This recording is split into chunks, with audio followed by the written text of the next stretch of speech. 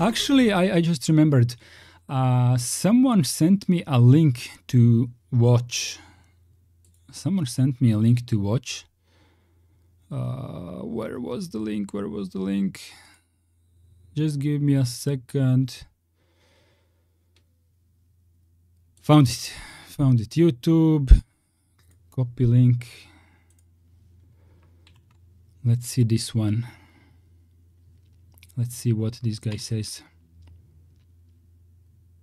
Okay, hey everyone, project update. So, I've used Apple stuff for probably 20 years. Apple stuff. And their stuff is really solid, really fast.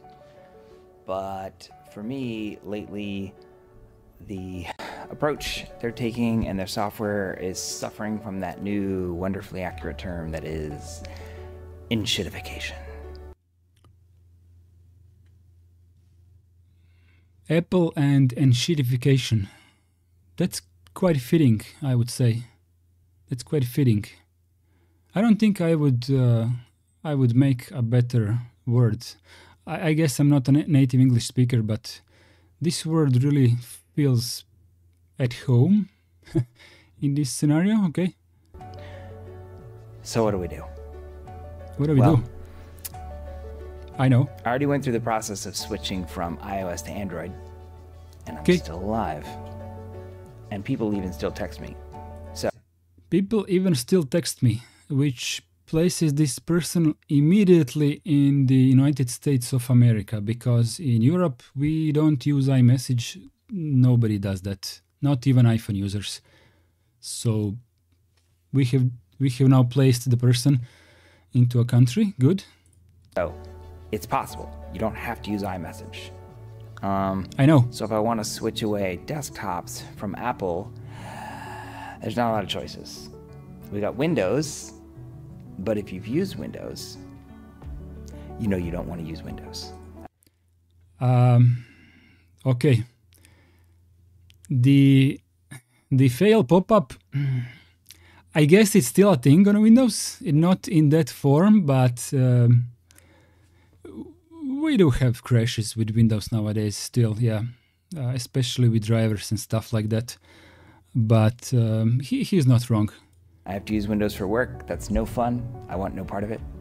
And that Uh, sorry for interrupting this guy so much, but he said he has to use Windows for work, and um in that regard, in that regard, I think, uh, hmm, I think, uh, I think there is room to to to to go around that, but I guess that depends on what type of company you work for, uh, because some companies will give you uh, the the ability to choose your operating system, especially if you are an IT guy, right? Uh, Zoran Mostalic, hello, hello. leaves us pretty much just Linux. That rabbit hole of nerdery that is Linux on the desktop. It's almost like telling your music friends that you're getting into modular synthesis, um, which I tried. So, do we dare go into Linux on the desktop? We do. We do dare. I found an old desktop from Dell on eBay that I would feel okay messing around with. I bought that for 200 bucks, erased it, and installed Linux. And it was easy. It was easy. I picked the hey, you're switching from Mac, just try this. Ubuntu. I tried it. It worked. It's really nice. It's really nice.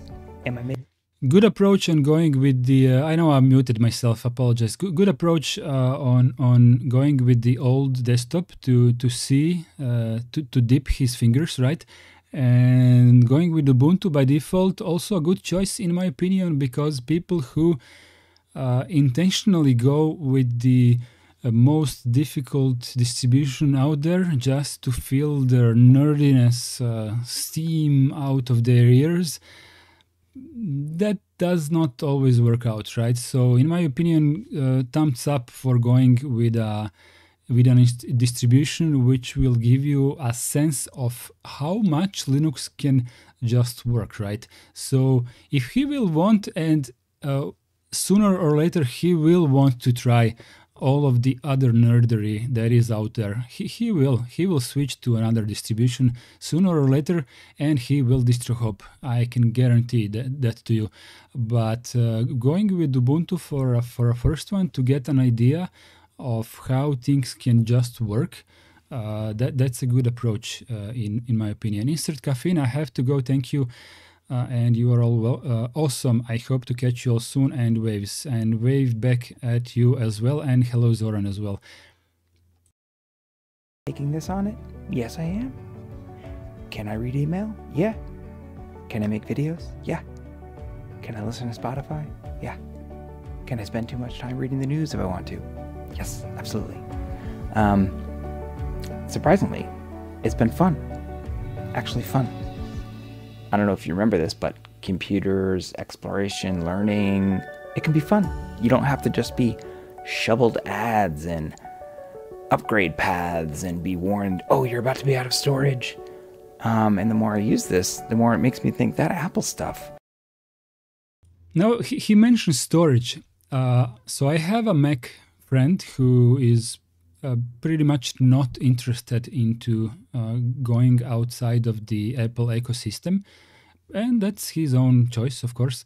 Uh, but he bought a MacBook Air, the base base model that has 256 gigs, and he keeps telling me how uh, he has like 100 gigabytes of system hidden things, like 100, like almost 50% of his SSD uh, filled with something that he doesn't know what it is and he cannot reach these things because the Mac operating system does not think that the user should uh, worry about this. So at some point he told me that he did a system upgrade or something like that. I may I may have uh, wrongly remembered, but he definitely told me that uh, the the size of this 100 gigabytes of shit has decreased significantly, and he was happy because he had more free space. And a couple of days later, he told me like it, it grew back again, and once again he doesn't know uh, what happened, and he now needs to buy a new Mac because this one just keeps filling up for on its own and he cannot upgrade the SSD because it's soldered to the motherboard, so he has to buy a new computer. And this is kind of interesting with, with the Mac, right? He he will still continue buying into the Apple ecosystem because he loves it. I'm not even calling him out on that, but you know, uh, while my friend has uh, this attitude, this guy here, what was his name here? This guy here, Bill Moriarty, he clearly is not happy with enshittification, and kudos to him for for going into this adventure, right? So um, thumbs up for that man. Thumbs up. Uh, Nobrock says, speaking of distro hopping, can I install one Linux kernel and then having four distros on the same disk? No, you cannot do that. Uh, but you can install multiple Linux distributions on the same disk, uh, like a dual boot, right? Uh, put one distribution on one partition, uh, the second one on the second partition, and each one will have its own kernel. So you can dual boot multiple uh, Linux um, distributions at the same time. boot this one, then reboot to the other one. you just have to give them separate space on your hard drive it, it is possible, uh, but you have to be careful about how you're um, approaching this because not every distribution is able to handle dual boot automatically and you will with some distribution you will have to pay attention uh, with the process of um, of um, uh, partitioning, right? So, for example, OpenMandriva will detect another Linux distribution already installed on your hard drive, and it will just give you an option install alongside the uh, existing existing distribution. Uh, OpenMandriva will do that automatically for you, and it will give you um, a future layout of what is going to do to your hard drive, and it will show you in colors how how the uh, existing Linux distribution is going to be shrinked or, or, or shrunk, uh, and how the OpenMandriva is going to be installed on a newly created free space. Uh, so from that perspective, it's uh, it's a pretty good second distribution, no matter what the first one is. Um, same goes for the third one and the fourth one, right?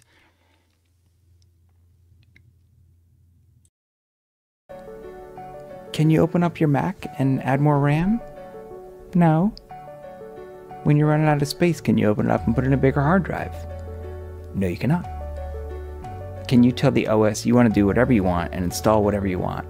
No, you cannot. Correct. You can do all that stuff with this Linux stuff. However, there's a huge learning curve. Mm, let's say you want to do something like, you know, install an app. There's not just one place you can run a curl command in the terminal. Or there's something called a Flatpak. There's something called a snap. Or do you use the Debian version? So that's a big learning curve. I don't know all that stuff yet. So what he has probably learned by now is that curl command uh, being one of the uh, reason uh, one of the ways to install applications flatpak and snaps uh, two others of course that that's absolutely correct. And the debian uh, package is also correct but there is also app images. That's something that he has probably found out by now. Uh, and um, also rpm um, packages and pacman packages you know every uh, every distribution that is not based on anything else is using their own package manager. So uh, I, I can see how this can be daunting for a new user. But once again, kudos uh, to this guy for actually wanting to dive into the wonderful, wonderful uh, world of nerdery uh, of Linux users, right? But I'm learning it and I'm actually having fun learning it. I'm actually having fun learning it. It wasn't that hard to switch. I'd say the iOS to Android was harder. I paid for an app called 1Password. I exported all my passwords out of Safari, imported them into 1Password, and I'm set up. There's a large community of people online messing with the appearance, customizing how it looks. That's a lot of fun. And your computer starts to feel like yours again. You're not being pushed on upgrade paths. There's no ecosystem login. You're not being shoveled um, new OS upgrades that you have to install because they have a new feature that they. Well, arguably, the lack of ecosystem uh, is sometimes a negative of uh, in the Linux world, right? When you know when this desktop environment is not 100% compatible with that one, and Wayland not being 100% compatible with X org server, right? And when VLC doesn't want to start up in Wayland mode on the uh, on Hyprland, right? So there is, uh, you know, he, he will get to that at some point. But yeah, it's a it's it's a wonderful world of freedom. It's a wonderful world of freedom uh, where you can choose your favorite distribution that comes with their Halo a desktop environment and when the distribution maker is taking care of you that everything works for you properly out of the box. Uh, let's say OpenMandriva with uh, with their KDE Plasma or uh, Ubuntu with their GNOME or, or whatever, right? And um, you know, like Mint with Cinnamon, th- those are all first-class supported uh, desktop environments that will work out of the box really, really well for most of the people, right? But when you start customizing things, because you will start customizing at one point, then you will have to uh, inflate your nerdery level to a lot higher degree in order to catch up with all of the intricacies of the how the Linux engine works from the inside, how the combustion works, how the cylinders behave. And I'm talking about systemd and you know uh, grub bootloader and the text console and the uh, the the graphical uh, user login managers and whatnot, right? So um, SSH uh, and terminal with tmux, Zoran says, yeah, correct, absolutely correct. Uh, let's let, let's let the guy finish uh, what he has to say. They have to add so they can sell more computers, you know. So I'm having a lot of fun. Maybe you'll have fun. Let me know if you're trying it. Let me know maybe you've already been doing this for 10 years and I'm just way behind. Either way, computers are fun. Computers are fun, guys.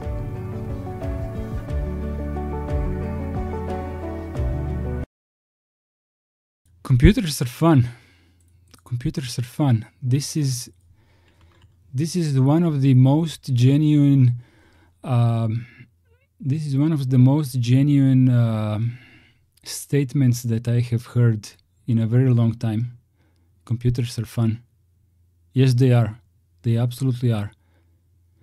You need to have a certain level of freedom in order to gain access to this fun, though. So, you know, why did he say computers are fun? Because he's not talking about proprietary operating system that have for their goal uh, shareholders uh, and money and uh, trying to close you up in their ecosystem, trying to squeeze every one last penny out of your pocket as much as they can. So, from that perspective, yes, computers are fun. Uh, I think uh, that uh, Bill, Bill, yeah, Bill, I think Bill has uh, absolutely nailed it. Kudos to you, Bill, and welcome to Linux community. Welcome in. Uh, no Brock one two three says this hits in the feels. Uh, so true. Well, everyone who is on my stream, go go give a follow to the to the Bill. Go give a follow to the Bill. I have linked his video in the chat. Uh, give him a warm welcome to the Linux community, please. Give him a welcome. I think we need more. I think we need more uh, of the people who are ready to feel the fun in computers. I think this is awesome. Absolutely awesome.